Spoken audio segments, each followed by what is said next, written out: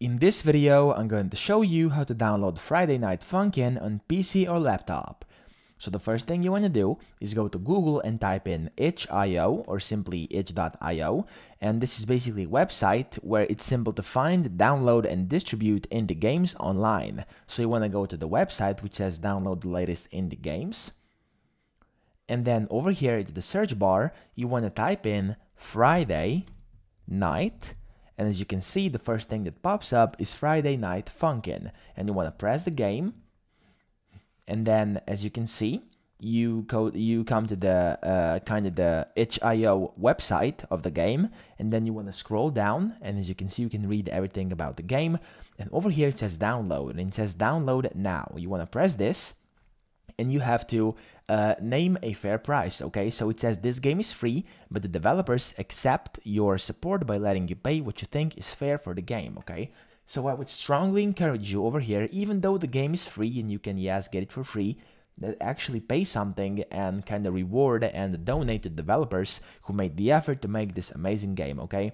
You can just support them by just a dollar two five ten. It doesn't matter but anything will help and i actually encourage you to do so okay? But if you don't want to do that if you don't want to pay simply press over here to where it says no thanks just take me to the downloads and then it's going to take you to downloads. As you can see this is available for windows mac and for uh, linux as well okay now, um, in my case, I have Windows. All you want to do is select 64-bit or 32-bit. So you want to press the one you have. I have a 64-bit. You want to press download over here, which will automatically start downloading the game for you. As you can see, it's downloading, a few seconds left.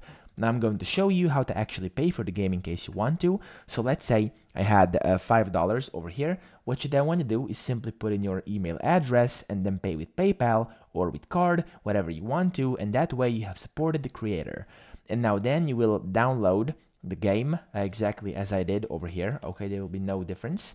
And I'm going to show you how to then run it up. Okay, now the way you do this is by opening File Explorer on your PC and go to downloads and as you can see the game is inside here okay and what you want to do this folder is zipped you want to right click it press extract all and then extract it which will extract the entire folder okay this may take a moment since the game is uh, quite big okay but as you can see it starts speeding up so don't worry just wait this thing out until it comes to the full 100% and then I will teach you what to do next now, as you can see, we are almost there. There we go.